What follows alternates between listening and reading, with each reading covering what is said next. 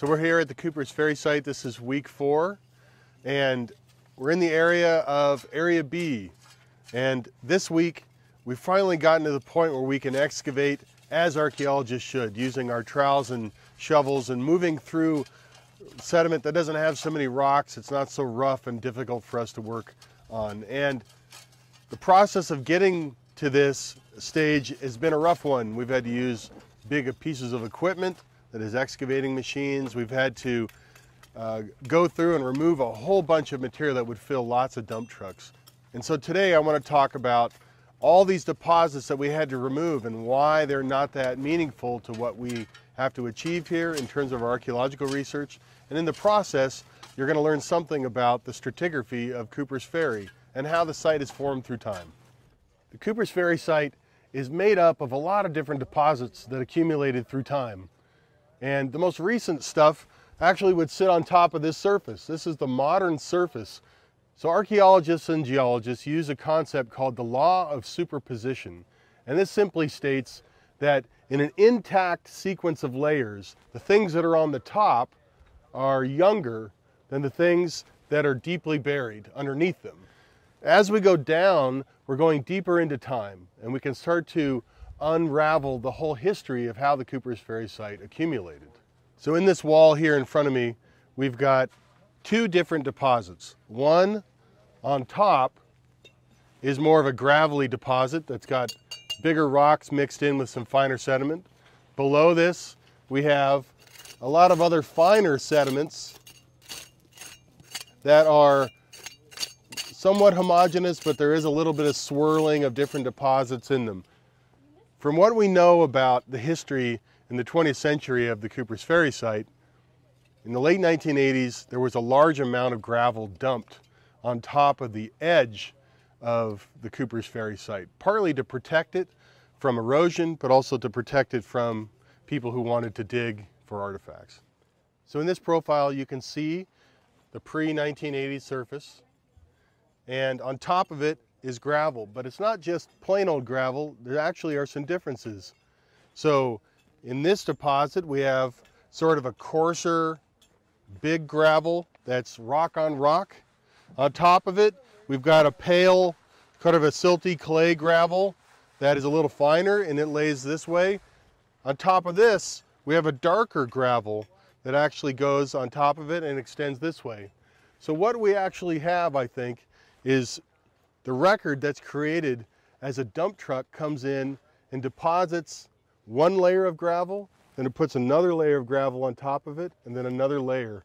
And it successfully moves the gravel deposit out, out, out toward the river in this direction.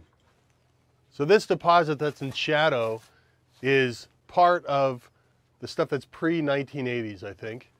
Uh, and the reason why I suspect that is it's poorly sorted, it's got lots of angular road gravel, and it also contains some really telltale artifacts. It's got Shasta pop cans from the 1960s with pull tabs.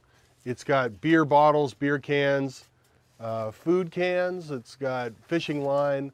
And what we can do with this is we can actually trace the edge of it as it proceeds across our stratigraphic profile here. And it goes this way, comes back up, and then dips down again. So this area right here, I suspect is actually part of a trench. And given what we know about the history of work at the site, I highly suspect this is B. Robert Butler's trench. The trench itself appears to be infilled with a lot of different mixed kinds of sediments, which is pretty typical of when you push dirt back into a hole. We also see there are some vertical edges there's a sort of a flat bottom that goes across, and on the far side, there's another rough vertical edge. So my trowel is tracing the edge of what looks like sort of a rough vertical line that transitions between more mixed deposits. You can see these layers of different colors that are discontinuous and swirly. To the other side, which includes two deposits that are not nearly as mixed up at all. In fact, this one and this one look exactly like the deposits that the students are excavating in right now. And these represent floodplain deposits that we have a radiocarbon date associated with them of 6,000 years.